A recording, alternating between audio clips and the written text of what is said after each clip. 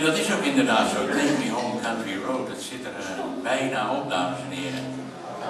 Ja, jammer. Wij vinden het eigenlijk ook best jammer, maar we hebben nog een mededeling voor u. Wij gaan zo meteen nog een half uurtje naspelen in de foyer. Gaat u niet weg. Maar voordat we dat gaan doen, dames en heren, voordat we het laatste nummer gaan doen, wil ik even Harold van, uh, van dit uh, pand, van dit theater, hartelijk bedanken. En natuurlijk ook zijn medewerkers voor de buitengewoon gastvrije ontvangst. En uh, geweldig dat jullie dit organiseren. Vraag.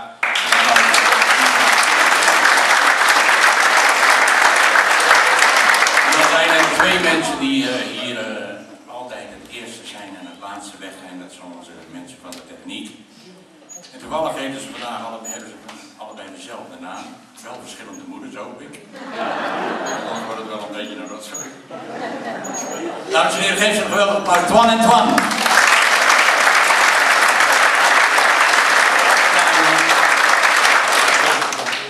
En dan uh, gaan we afsluiten, dames en heren. En voordat we dat doen, wil ik even een klein stukje geschiedenis toch uh, aan u meegeven, althans muziekgeschiedenis. Want het bewijst maar dat als je ergens in gelooft en je, je wilt doorzetten en je bent echt van jezelf overtuigd, dan kan dat allemaal lukken. En dan heb ik het weer even over mijn grote held Buddy Holly.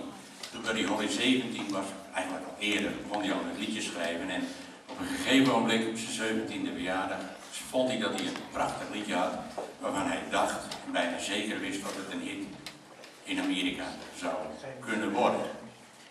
Hij pakte met zijn band de Crickets auto naar, uh, van Lubbock, Texas naar Nashville, Tennessee, dat is ongeveer 1500 kilometer. Hij reed dus naar een platenstudio en nam het liedje op. Daar werd het afgeluisterd door onder andere Bradley, uh, weet je ook alweer, nee, Owen Bradley, sorry, een beroemde producer. Die luisterde dat liedje af en die zei, Buddy, je vader en je broer zitten in de tegelbusiness, ga dat nou ook doen. Want dat wordt niks met je. Dat kan niet gaan lukken, dat, dat zit er gewoon niet in.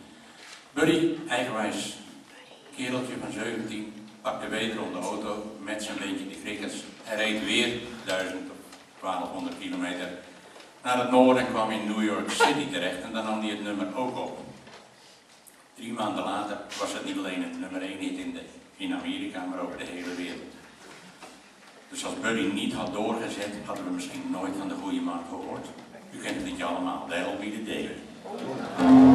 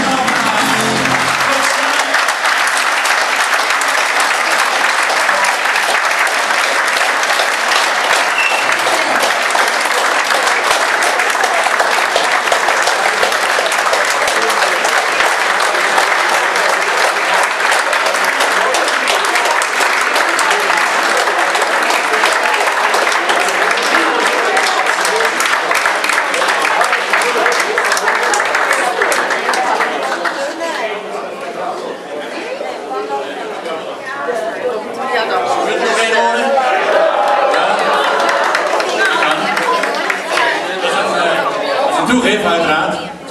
En dat gaan we doen, dat deden we altijd zelf. Toen Javier er nog niet bij was, deden wij dat op onze manier in het Spaans. Maar nu we een echte Spanje hebben, kunnen we het beter aan hem overlaten. Dames en heren, Chilito Lindo.